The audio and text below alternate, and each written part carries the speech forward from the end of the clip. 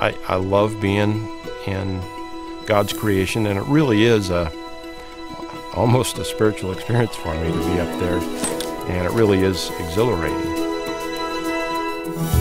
Skiing is probably, for me, that's the closest thing I think I can come to to finding out what the limits are that are still within bounds. I've been uh, patrolling now for 18 years. We'll begin our second service by.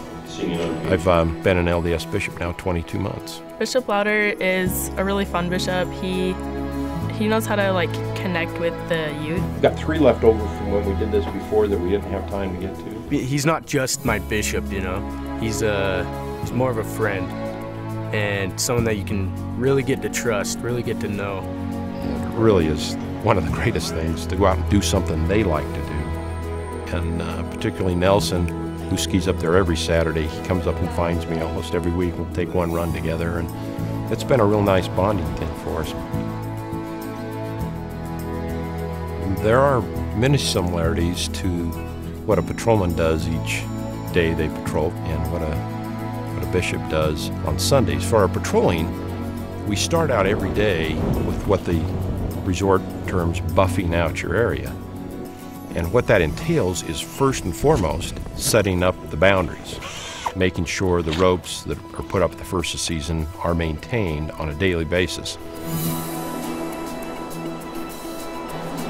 It's enticing to go to the back areas that are marked off because there's fresh snow that hasn't been skied in. There's nobody there.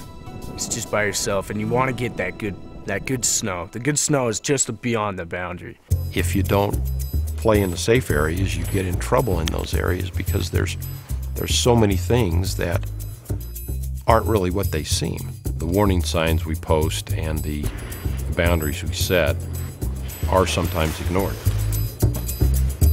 But the problem is, underneath that fresh layer of snow in the out of bounds area, you have rock bands that might only be a few inches under there. You have tree stumps that have just barely been buried that could hook a ski underneath the snow that you'd have no um, idea that, that they're under there.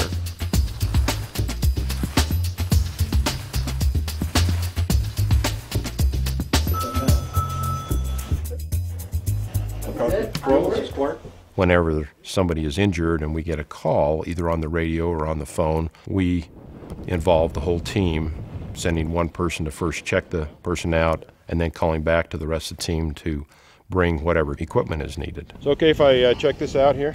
A full assessment is done on the hill of what's the injury possibly and what equipment's needed to safely stabilize, pack, and transport. Let's have you come this way a little bit. You're a tall one. The comparison between the work we do in, in patrolling and what a bishop would do within his ward, particularly with the youth, is clearly establishing boundaries both senses and um, identifying those things they can do to prevent the injuries in the first place. But once an injury has taken place, help guiding them back and understanding that uh, there's always hope. If I make a mistake and I'd have to go to my bishop, I feel he wouldn't he wouldn't rail on me. He wouldn't get on my case. He would take it in a matter of calmness and he'd just sit me down and he'd be really understanding of what I have to say to him and give me a sense of like forgiveness, I guess. And it's true that not many people get to have that relationship with their bishop that they get to ski with them. Nelson's a great skier. He is fearless about the terrain features. But also remember that because they're in bounds, they were built by people who use those features professionally, making those, those jumps and features so that they're the right angles both on the takeoff and the landing so they don't throw you in the back seat as you're taking off and as you land you aren't landing flat but that you come down on an angle and it's a softer landing. And if you happen to fall you slide rather than landing hard impact.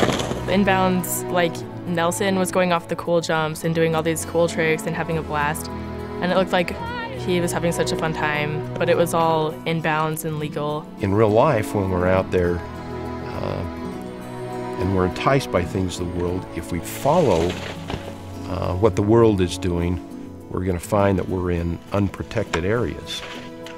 If, on the other hand, we stay within the guidelines that the brethren have given us in modern day revelation and through the scriptures, listen to the, the promptings of the Holy Ghost as we're taught to do, if we're doing those things on a daily basis, then we stay within the bounds and we find that we didn't miss out on anything and we had more freedom and more enjoyment by staying within the bounds the Lord has set, just like people do skiing when they stay in bounds.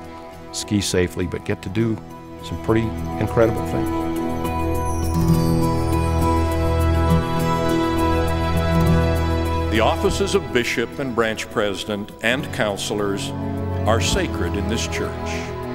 The men who hold those offices are respected by the Lord, inspired by His Spirit, and given the powers of discernment necessary to their office. Thank heaven for faithful and inspired bishops and branch presidents and their counselors.